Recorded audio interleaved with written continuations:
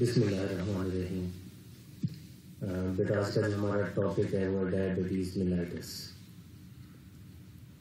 Diabetes mellitus को normal अल्फाज में हम अपनी सोसाइटी में बोलते हैं शुगर तो शुगर होती क्या है, इसकी टाइप्स कितनी होती हैं, इसकी ट्रीटमेंट क्या है, वो हम स्टडी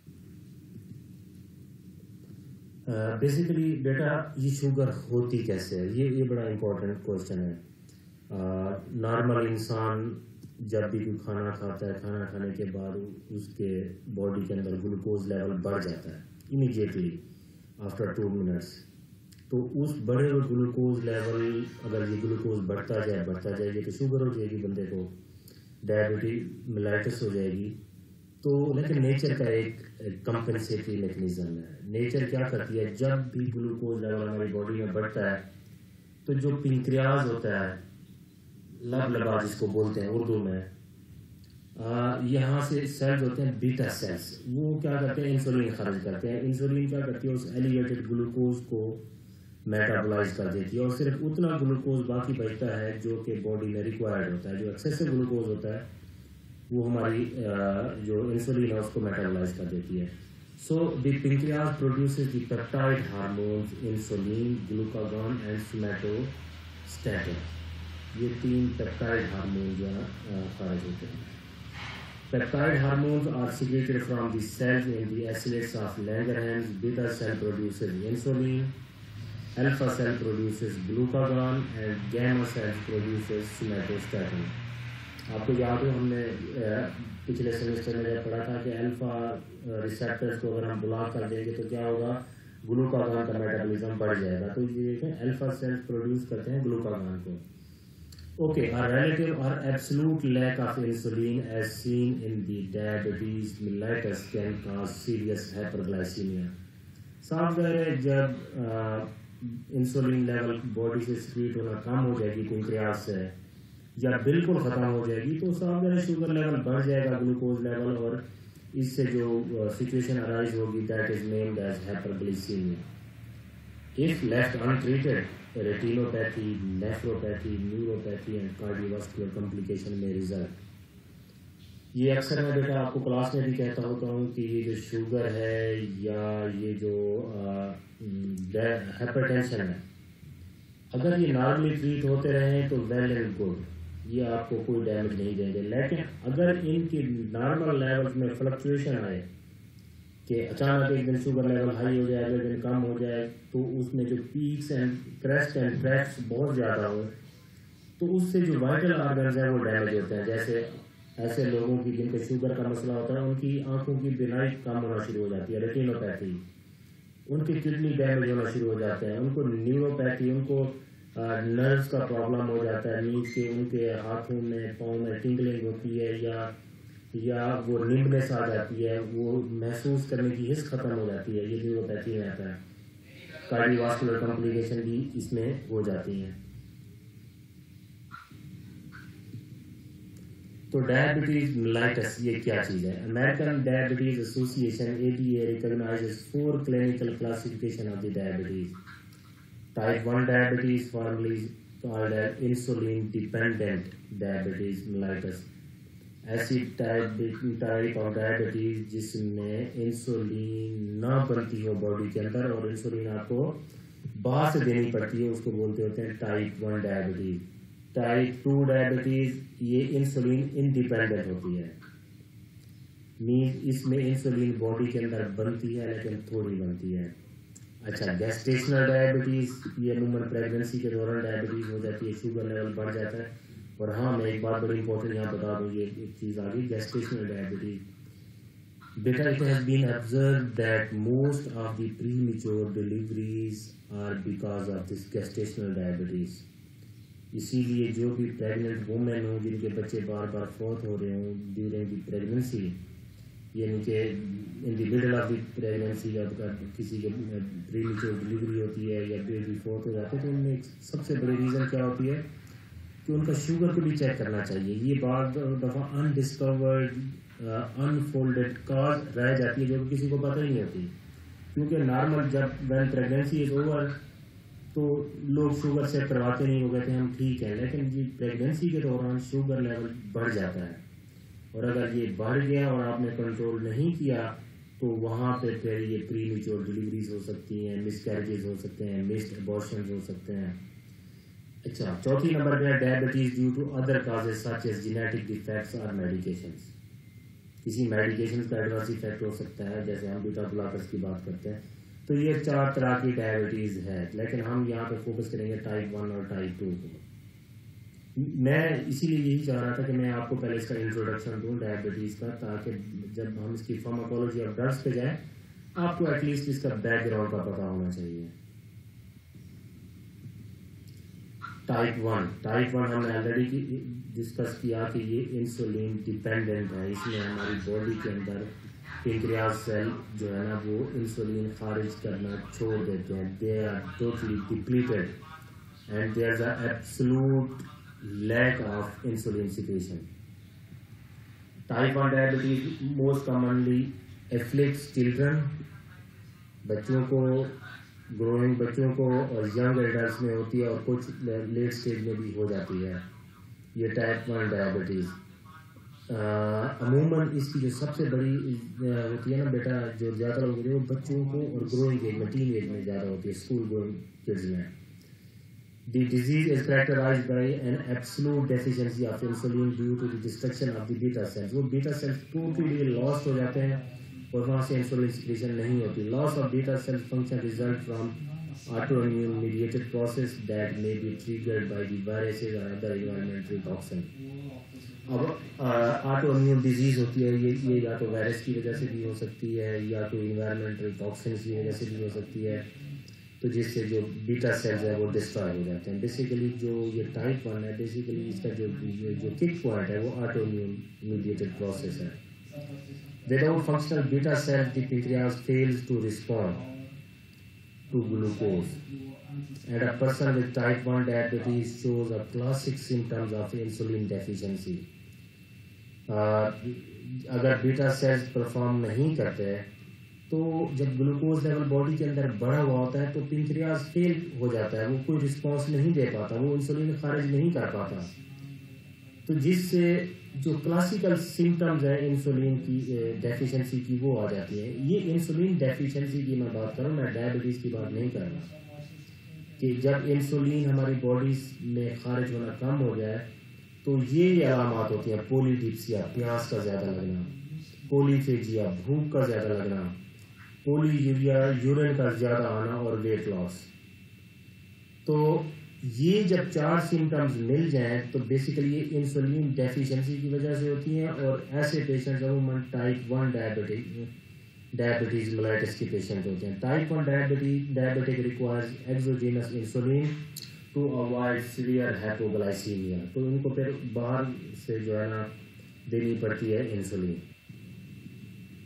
काजेस क्या हैं अब इसकी in normal post absorptive period जब नॉर्मली हम खाना खाते हैं खाना खाने के बाद आधे पौने घंटे के बाद constant beta cell secretion maintains low basal level of circulating insulin तो बीटा सेल जो है थोड़ी थोड़ी इंसुलिन खारिज करते रहते हैं और एक ख़ास लेवल मेंटेन रखते हैं इंसुलिन का ताकि खाने के बाद जो ग्लूकोज का लेवल थोड़ा बहुत ज़्यादा बढ़ा हुआ है वो कंट्रोल हो, हो सके। So this suppresses the lipolysis, proteolysis and glycogenolysis. तो ये इन तीन steps को suppress करके रखती है. A burst of insulin secretion occurs within two minutes after the ingesting a meal in response to a transient increase in the circulating glucose and amino acid. तो बेटा जब हम खाना खाते हैं खाना खाने के बाद हमारा अचानक से बॉडी के अंदर ग्लूकोज का लेवल बढ़ जाता है अब अगर इंसुलिन इसी बेसल लेवल से लो बेसल लेवल से सिक्रेट होती रहेगी तो ग्लूकोज का लेवल ज़्यादा देर हमारी बॉडी में एलिवेटेड रहेगा। क्योंकि ये ग्लूकोज का लेवल अचानक ही हमारी बॉडी में बढ़ता है, क्योंकि हम बैठे बैठे पाँच मिनट के अंदर खाना खा जाते हैं तो ग्लूकोज का लेवल हमारी बॉडी में एब्रप्टली हाई हो जाता है। तो इस एब्रप्ट हाई ग्लूकोज लेवल को कंट्रोल करने के लिए आप burst secretion of the insulin occurs within the two minutes ताकि वो जितना ही ग्लूकोज ऊपर हो जाता है उतना ही इंसुलिन उसको मेटाबोलाइज कर सके तो ये एक कुदरत की तरफ़ से मैकेनिज्म है। This last for up to 15 minutes ये जो ग्लूकोज का लेवल अचानक बढ़ जाता है और इंसुलिन सिक्रीट होती है अचानक से ही तो ये दो से पंद्रह मिनट की सारी एपिसोड है। Followed by the postprandial secretion of insulin वो पोस्ट पेरेंडियल सिक्रीशन खाने के बाद की जो सिक्रीशन है, वो फिर लो लेवल को मेंटेन रखती है इंसुलिन के ताकि ग्लूकोज का जितना भी लेवल एक्स्ट्रा बॉडी के अंदर मौजूद है, वो इंसुलिन उसको मेटाबोलाइज करती रहे। However without functional beta cell those type one diabetes can neither maintain a basic situation of the insulin not respond to variation in the circulating glucose तो जब बीटा सेल्स बॉडी के अंदर functional नहीं कर रहे होंगे तो वो जो low level low basal level होता है इंसुलिन का जो पोस्ट पेरेंडियल स्टेज पे होता है, ना तो वो परफॉर्म हो सकता है और ना ही अचानक अगर ग्लूकोज का लेवल बढ़ जाए तो उसको कंट्रोल किया जा सकता है टाइप वन डायबिटीज़ में। तो इसकी ट्रीटमेंट क्या होगी? बेटा, इसकी ट्रीटमेंट में अमूमन होता यही है कि हम इंसुलिन देते होते हैं। There is no other way out type one diabetes में। और a person with type 1 diabetes must rely on the exogenous insulin to control hyperglycemia and avoid ketoacidosis. ये एक बहुत बड़ा एडवर्स इफेक्ट है टाइप वन कीटोसी कीटोन बॉडीज बनना शुरू हो जाती हैं and maintain acceptable level of the glycosylated haemoglobin H B A one C So uh, the rate of formation of HbA1c is proportional to the average blood glucose concentration over the previous three months. Means ये जो अब देखें ना glycosylated haemoglobin है means के जिसके अंदर ऐसी हीमोग्लोबिन जिसके अंदर शुगर लेवल अटैच हो तो यहाँ से ये पता चलता है कि ये आपकी बॉडी के अंदर ग्लूकोज के लेवल को शो करती है तो जितना H D A one C ज़्यादा होगा, उतना ही जो है आपके ग्लूकोज का लेवल ज़्यादा होगा। तो ये डिफरेंट टाइप ऑफ़ बेटा इंसुलिन हैं। आपने ये रेड कलर में इनके ब्रांड नेम के हीमोलिन आपने नाम सुना होगा। और लैंटस नाम सुना होगा। तो ये डिफरेंट टाइप ऑफ़ इंसुलिन है। इनको हम बाद में इनकी फार्माकोलॉजी स्टडी करेंगे, लेकिन मैं भी आपको थोड़ा इनका इंट्रोडक्शन दे दूँ। बेटा ये H B A one C क्या लेवल है? देखें H B A one C normal जो होता है वो छः होता है। सिक्स परसेंट सिक्स परसेंट का मकसद ये कि one twenty six milligram per decilitre या seven millimoles per litre ये नॉर्मल होता है। सात अगर हो जाएगा तो फिर वो हायर की तरफ़ होना शुरू हो जाएगा। आठ नौ दस ग्यारह बारह तो ये ये इसकी H B A one C आपको बेशक ज़्यादा इसको याद करने की ज़रूरत नहीं है, लेकिन आपको इतना एटलीस्ट अंदाज़ा होना चाहिए कि नॉर्मल अगर H B A one C six होगा तो वहाँ पे प्लाज्मा ग्लूकोज का लेवल क्या होगा? मिलीग्राम पर डेसीलीटर में और मिली मोल्स पर लीटर में। इसको आप एक दफ़ा देख लीजिएगा।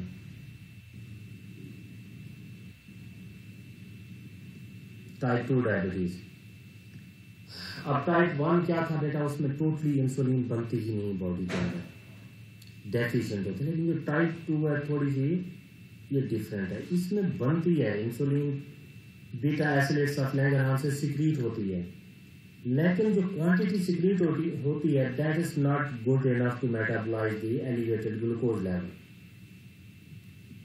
type two diabetes accounts for greater than 90 percent of the cases और सबसे ज़्यादा प्रेगनेंसी इसी की ज़्यादा होती है।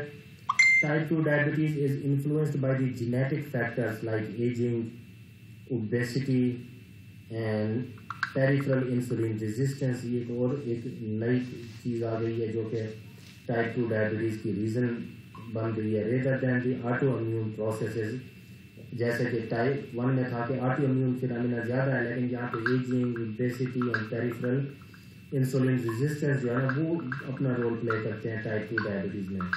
The metabolic alterations are generally milder than those observed with the type 1. For example, patients with the type 2 diabetes typically are not ketotic. उनमें कीटोसिडोसिस नहीं होता टाइप टू में लेकिन टाइप वन में कीटोसिडोसिस हो जाता है जो कि एक इसका सबसे बड़ा एडवांस इफ़ेक्ट है इसमें यूरिन की पीएच चेंज हो जाती है और बड़ी डिबिलिटेटिंग डिज़ीज़ है और उससे जो है पूरी बॉडी की जो फ़ंक्शन हैं ऑर्गन्स हैं, वो कम्प्रोमाइज हो जाते हैं कीटोसिडोसिस में। The long term clinical consequences are the same लेकिन अगर लॉन्ग टर्म ये सिचुएशन एग्जिस्ट करती रहे तो जैसे टाइप वन में था कि रेटिनोपैथी हो सकती है नेफ्रोपैथी हो सकती है न्यूरोपैथी हो सकती है और कार्डियोवास्कुलर कॉम्प्लिकेशन तो ये इससे टाइप टू में भी सेम ये चीज़ें होंगी long term complications causes of type 2 diabetes. Type 2 diabetes is characterized by the lack of sensitivity of the target organs to insulin. बेटा ये टाइप टू ऐसे ही है मैं आपको इस छोटी सी बेहतरीन एग्जांपल दूँ ये देहात लोग ने गाँव देखा होगा गाँव में देखा होगा तो आम के दरख्त देखे होंगे खजूर का दरख्त देखा होगा तो हम बचपन में क्या करते थे कि आम के दरख्त पे चढ़ के ना, आम हमारे चूँकि पहुँच से दूर होता था तो हम क्या करते थे, उस बेल को हम ज़ोर से हिलाते थे। जब ज़ोर से हिलाते थे, जितने पके हुए आम होते थे, वो सारे के सारे नीचे गिर जाते थे। और जो कच्चे होते थे, वो वो वो नहीं गिरते थे जल्दी। तो यही मामला टाइप टू डायबिटीज़ का है। अब जितनी ये टाइप टू का मसला है टाइप टू में ये होता है कि इंसुलिन सारी खारिज नहीं हो रही होती सफिशेंटली खारिज नहीं हो रही होती।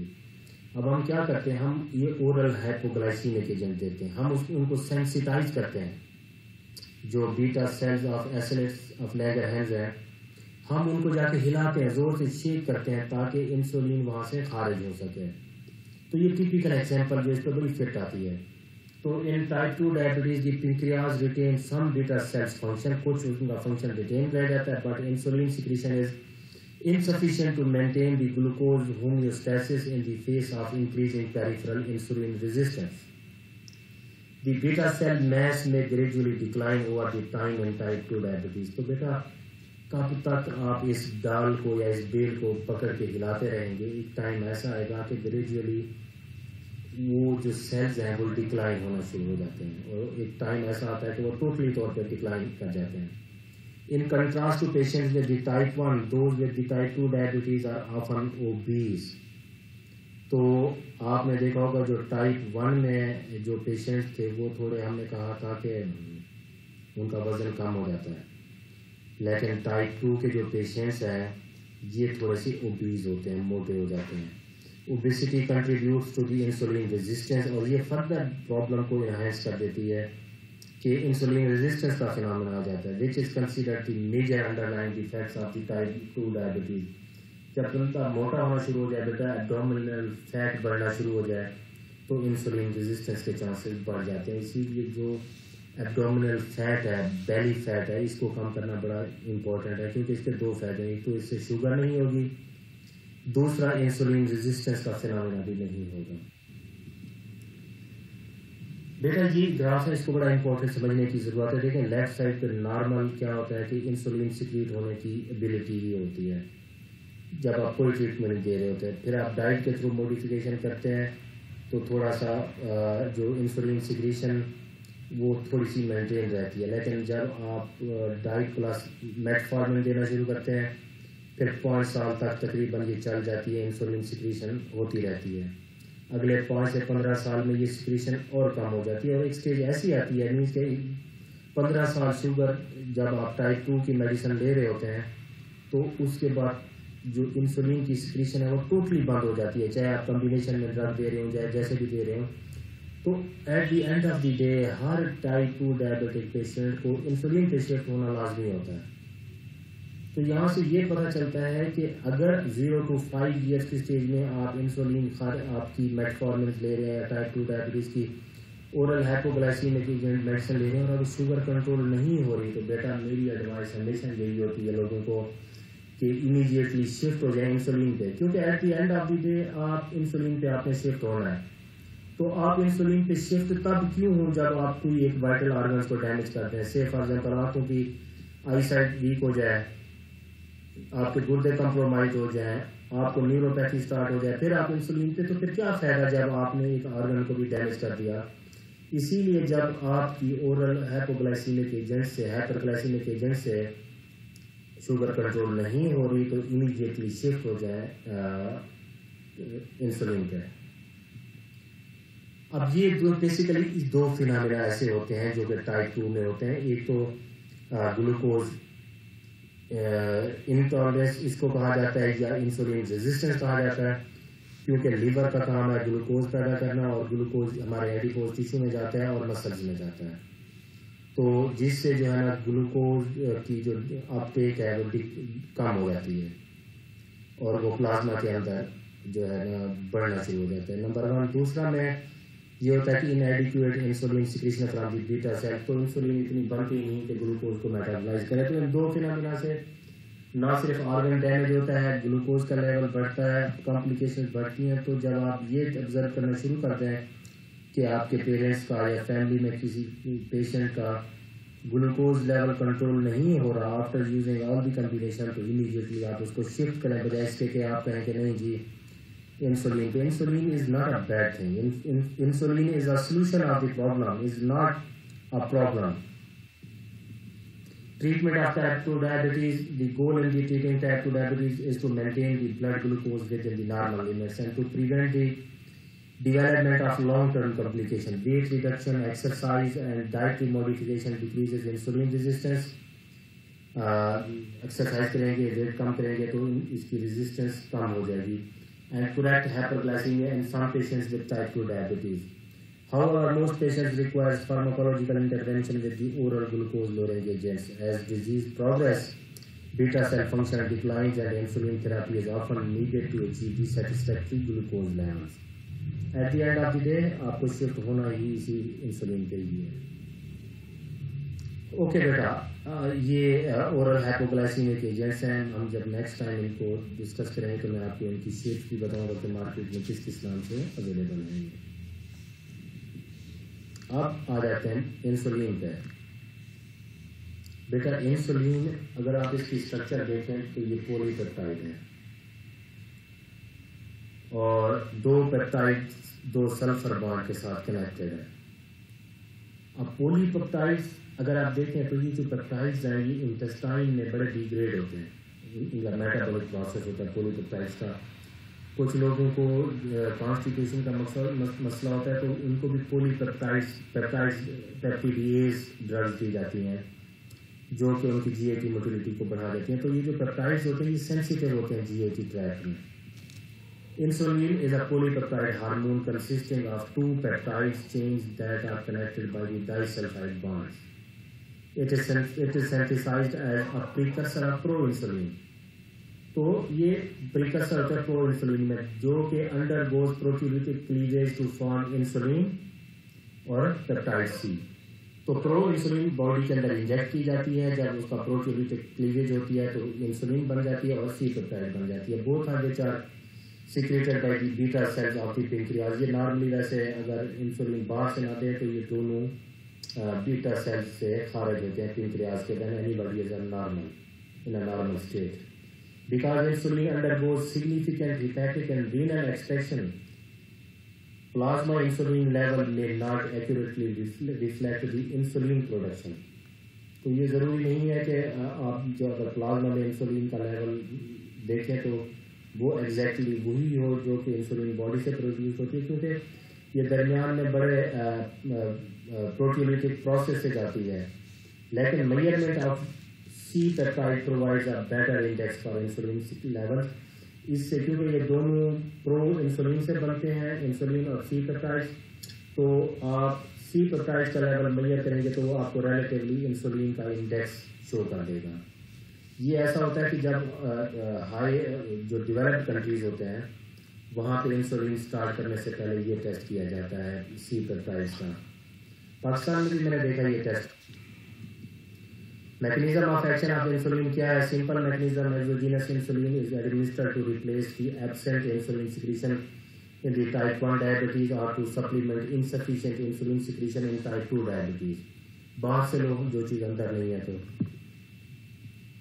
pharmacokinetic of insulin human insulin is produced by the recombinant DNA technology by using a strains of E. coli or yeast that are genetically altered to contain gene for human insulin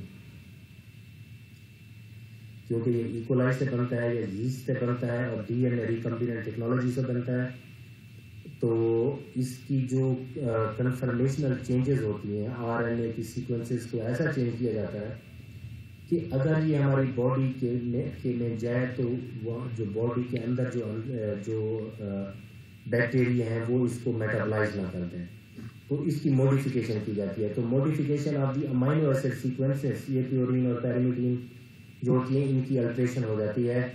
Amino acid sequence of human insulin produce insulin with different pharmacokinetic property तो इससे इसकी pharmacokinetic property इसकी different हो जाती है। तो जब ये इंसुलिन बॉडी के अंदर इंजेक्ट की जाती है तो जो बॉडी के अंदर इकोलाई होते हैं बैक्टीरिया होते हैं, वो इसको इसको कैटाबलाइज नहीं कर पाते और इसकी फार्माकोकाइनेटिक प्रोफ़ाइल जो है ना वो insulin preparation are primary in their onset and duration of activity ये वेरी करती हैं। For example insulin lispro aspart and glulisine Glulisin have a faster onset and shorter duration of action than the regular insulin because they do not aggregate or form complexes. ये आगे मैं insulin आपको बताऊंगा कुछ different type of the proteins हैं उसमें मैं आपको एक्सप्लेन करूंगा dose injection site blood supply, temperature and physical activity can also affect the onset and duration of various insulin preparations. Because insulin is a polypeptide It is degraded in the GIT tract. If taken orally, therefore it is generally administered by subcutaneous injection. अमूमन ये सबकट injection के through दी जाती है। Note in a hyperglycaemic emergency regular insulin is administered IV जब किसी glucose का level 12 H B A one H B A one C से ज़्यादा हो और पेशेंट अनकॉन्शियस हो जाए तो वहाँ पे रेगुलर इंसुलिन आईवी फॉर्म में दी जाती है। Hypo, जो इसके एडवर्स इफ़ेक्ट है बेटा hypoglycaemia is the most serious and common adverse effect to insulin other adverse reaction include weight gain local injection site reactions वो जहाँ इंजेक्शन लगता है बार बार वहाँ रिएक्शन हो सकता है लिपोडिस्ट्रॉफी जो लिपिड होती है, वो वो टूटना शुरू हो जाते हैं। Lipodystrophy can be minimise by rotation of the injection sites जगह बदल बदल के इंजेक्शन लगाना चाहिए। डायबिटिक्स विद रीनल इंसफिशिएंसी में require a decrease in the insulin dose ये इसके एडवर्स इफेक्ट्स हैं। इंसुलिन के headache anxiety tachycardia heart rate बढ़ जाता है क्योंकि हार्ट रेट तभी बढ़ता है जब शुगर लेवल ज़्यादा लो हो जाते हैं। कन्फ्यूज़न हो जाती है सीटी हाथ कांपते रहते हैं इंक्रीज एपिटाइट भूख बढ़ जाती है अचानक इनको। ठंडे पसीने आते हैं जब शुगर लेवल कम हो जाता है। और ब्लड रीजन नज़र ठीक नहीं आता वीकनेस फटीक हो जाती है लिपिड डिस्ट्रॉफी इस, इसमें हो जाती है। तो बेटा ये आज का हमारा टॉपिक है डिफरेंट टाइप ऑफ़ डायबिटीज़ और इंसुलिन